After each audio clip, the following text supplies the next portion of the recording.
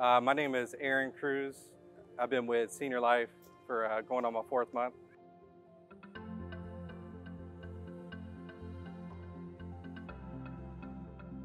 So, little, little backstory of me, I was a firefighter EMT for 10 years.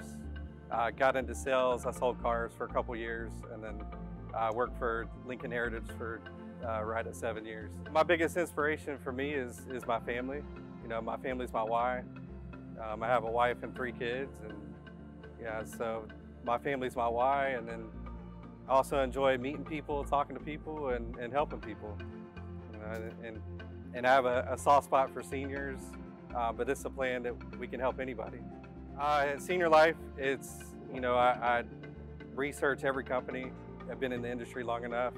Uh, at Senior Life, we have the total package, you know, from the leads to the Slice app to the culture, uh, all the research I've done. Since I've been with Senior Life, uh, my first month, I, I, worked about three weeks and I, I wrote right at 20,000. Uh, my second month in, I wrote right at 24.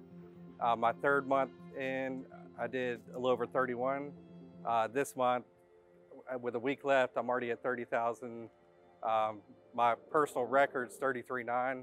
Um, I'm pushing to hit 40 by the end of the month. So I've, I've known Billy for five years. Um, Billy's become a great friend.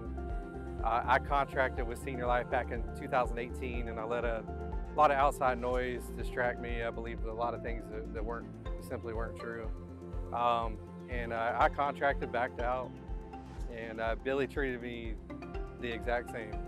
Um, and we've been friends ever since, five years. And stayed uh, in communication with me, and you know, here I am today. I, I would say faith over fear. It's I was I was making close to 200,000 at, at my previous company, and uh, I was comfortable. You know, I had reached a cap. I was at a ceiling where I was. Um, you know, there's potential to grow, but the growth was, the, the spread was so so limited. And uh, with here, I have room to, to, to give somebody a blueprint. You know, you can grow as big as you want to grow, and I can't hold anybody back. Can't hold myself back.